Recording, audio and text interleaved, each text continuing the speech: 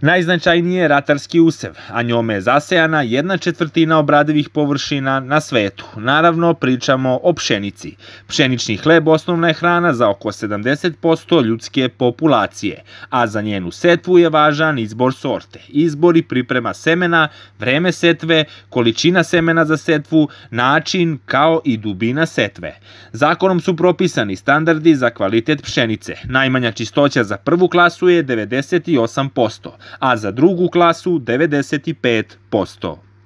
Pa jesena smo imali idealne uslove, bila je suva jesen, nije bilo jako vlažno zemljište, pripremilo se baš dobro, sejanje je bilo idealno, temperatura zemljišta je bila idealna, posle setve je bilo kišovito, nije nešto preterano, ali dovoljno da, da pšenica krene lepo. Sorta pšenice bi trebala biti visokorodna i davati stabilan prinos, visoko kvalitetna i otporna na poleganje, smrzavanje, sušu kao i bolesti. Sad smo nekoj, u nekoj e, fazi ili da kažemo momentu kad treba obaviti tretiranje e, protiv bolesti i regulatore rasta i protiv e, trave.